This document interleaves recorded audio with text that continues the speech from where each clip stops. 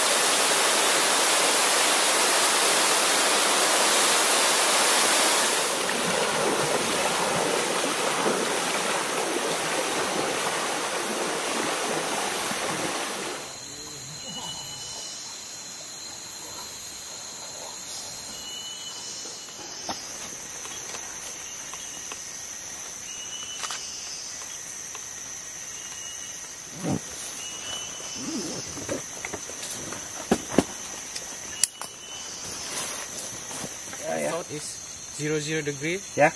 One oh. Yeah.